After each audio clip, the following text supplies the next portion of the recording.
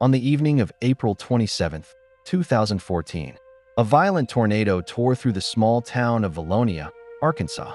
It was an EF4, packing winds over 190 miles per hour. What was supposed to be just another spring day turned into a nightmare no one would forget. If you're into true weather stories, disaster analysis, or just want to understand how nature can test the limits of human resilience, stick around. And hey, don't forget to hit like and subscribe if you want more content like this. The tornado touched down southwest of Ferndale in Pulaski County, but it didn't stay there.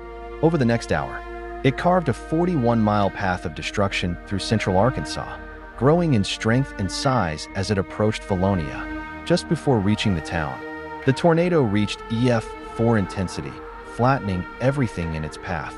Homes were reduced to debris, vehicles were tossed like toys, and tragically, 16 people lost their lives. This wasn't Vilonia's first experience with a tornado. Just three years earlier, in 2011, another EF2 tornado hit the same area. But this one, this one was stronger, wider, and far more devastating. Entire neighborhoods were wiped off the map. One of the most heartbreaking losses was the destruction of the Vilonia Intermediate School, which had been newly rebuilt after the 2011 tornado. Luckily, because it was Sunday evening, the school was empty. Emergency services were overwhelmed, but locals didn't wait. Neighbors pulled each other from the rubble. Volunteers arrived within hours, and in the days that followed, the community came together helping families find shelter, supplies, and hope. Want to see more deep dives into weather events like this? Click that subscribe button and turn on notifications so you don't miss a story. Meteorologists at the National Weather Service had issued a tornado emergency for Vilonia that evening.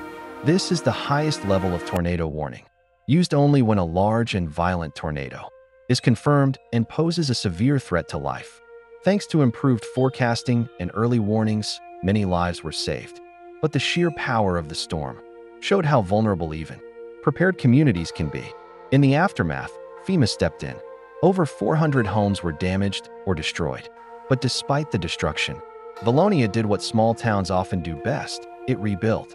The 2014 Vilonia tornado is a powerful reminder of nature's fury and the strength of a community in the face of disaster.